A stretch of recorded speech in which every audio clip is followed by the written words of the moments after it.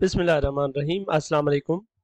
Uh, we're going to continue the discussion of uh, library of parent functions. We have already discussed some of the functions and their graphs like f of x to be x, uh, for example g of x to be x square, uh, h of x to be x cube.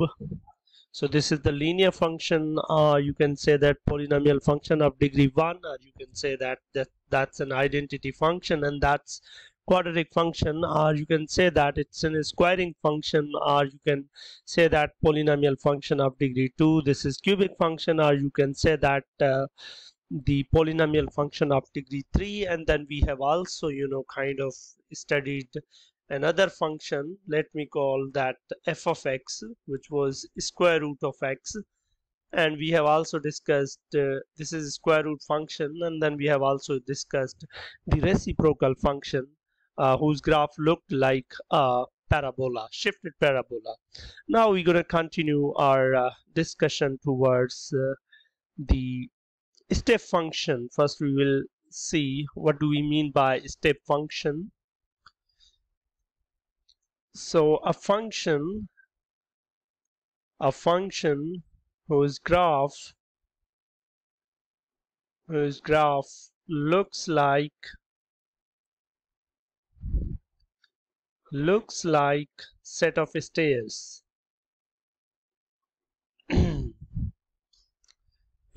Maybe I can say that stair steps. Okay. So when I say that stair steps I mean like this this this this this. Uh, you have seen stairs. If you haven't seen let me show. It's something like this you know stair steps. So we we will discuss one of the example of step functions which is greatest integer function. Let's see what do we mean by uh, greatest integer function and then we will plot its graph. So let's define something called greatest integer function. Greatest integer function. You might be thinking what do we mean by this function? So we define this function as f of x to be you know x inside the capital brackets. Okay so that way. And for example previously if we had this function g of x to be x square then when we put x equal to 1 it gives me you know 1 square. And when I put 2 it gives me 4 so the question is if I insert you know 2 here what will it give me? So the answer is what will it give? So whenever you will insert input integer it will give you integer. So let me put the definition and then I'll be telling you, you know, the what does it mean. So it will give you greatest integer, greatest integer less than or equal to x. So whenever you, you will insert integer to this, it will give you integer back for example if you are putting 3 it it will give you 3 back. If you are putting it minus 4 it will give you minus 4 the interesting part would be when we insert uh, the value in decimal uh, other than integer. For example if we are talking about what do we mean by uh, f of 0.3 so now you will see where is the 0.3 let's say on you know uh, this line. So here it is 0 and here it is 1 so 0 is here. Now this greatest integer gives us integer which is uh, so let me put it into very simple language. So what you have to do is basically you have to pick the integer which is on the left of this number decimal 0.3 so 0 is the leftest like like it's on the left. So right after 0 0.3 on the left side first integer that comes is 0 so it will give it 0 what about f of 0.9 it will again give it 0 what about f of 1 point let's say 5 so 2 is here 1.5 is here. So it will assign it 1 what about minus 2.9 so this is 0 this is minus 1 this is minus 2 uh, of course this is minus 2 point uh, this is minus 3 so here it is minus 2.9 so on the left side it is minus 3 so it is going to be minus 3 what about f of minus 3.2 so it will be minus 4 on left side of this minus 3.2 this will be the integer. So now let me put it into the very interesting you know kind of notation that uh, if you're talking about the value of x between 0 and 1 then function will always give you output 0 when your x is between 1 and 2 function will give you left integer which is basically 1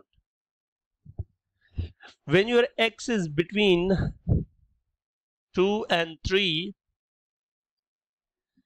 it will give you 3 so now you can continue this pattern. On the same lines if we are taking you know values into the minus for example uh, minus 1 till 0 then f of x will give me minus 1 if I'm talking about the value of x between uh, minus 2 and minus 1 then it will give me minus 2 why? Because it's the left side greatest integer minus 2 if it is between minus 3 and minus 2 it'll give me minus 3 so on and so forth. You can continue this pattern as well.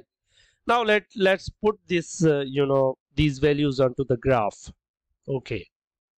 So let me plot this on this is my y this is my x okay so this is y this is y negative this is x this is x negative. So let's say here it is 1 here it is 2 3 4 5 6 maybe. This is 1 this is 2 3 4 this is 5 okay so like if you kind of recall then when our value of the x was between 0 and 1 0 and 1 then function was equal to 0 so on this interval the value of function is 0 so let me use uh, this this one right over here. So it's here.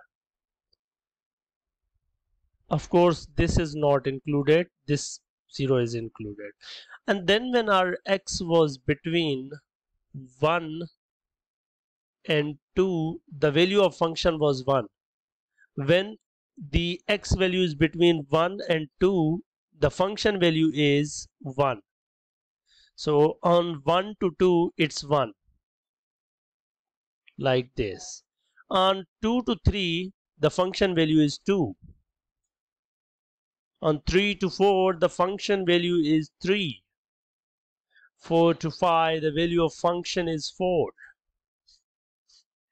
And 5 to 6, the function value is 5. And you will continue this pattern because between minus 1 and 0, it's minus 1 here. From minus 1 to minus 2, it's minus 1 oh minus 2 so this one is here. Then when our x value is between minus 2 and minus 3 then our y value is minus 3 you can say that here. So you will follow this pattern even for minus 4 so it it really looks like set of steps uh stair steps. So that's the function greatest integer value function whose graph is here.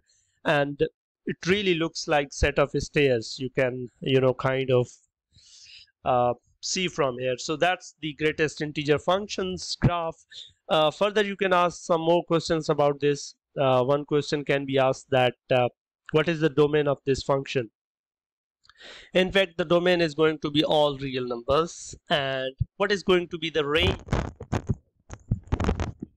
say that the range is going to be a set of all integers and then you can ask whether it is uh, where it is increasing decreasing. So it is in it's constant on each interval you know having different value. And maybe you can ask how many x-intercept does it have? So it has got uh, infinitely many x-intercepts. Each value between 0 and 1 including 0 is x-intercept so all these are you know 0 0.1 0 0.11 0 0.2 0 0.3 0 0.9 all these values which are between 0 and 1 are x-intercepts of this function. Uh, let's meet uh, with some other you know kind of operations on this function but in the next video till that laugh is